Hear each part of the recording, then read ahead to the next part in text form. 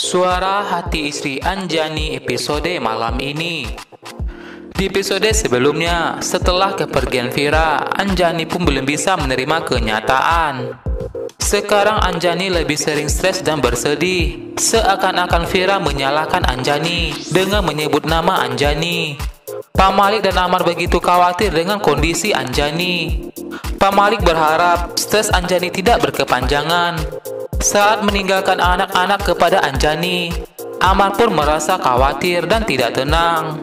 Dan saat pergi ke kantor, hati Amar merasa tidak tenang dengan kondisi Anjani. Amar pun lantas kembali ke rumah bersama Pak Malik.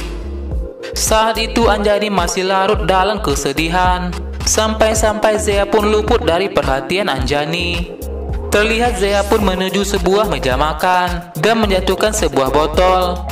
Zea pun menangis, tetapi Anjani seolah-olah tidak mendengar suara tangisan Zea.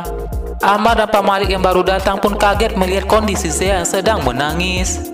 Anjani episode malam ini Dicuplikan trailer episode malam ini Anjani akhirnya tahu jika Jihanlah yang selama ini membuatnya beralusinasi, sering mendengar suara Vira. Ternyata itu bukanlah halusinasi Anjani, melainkan ulah Jihan yang ingin membuat Anjani gila. Jihan pun merasa kesal karena rencananya gagal lagi.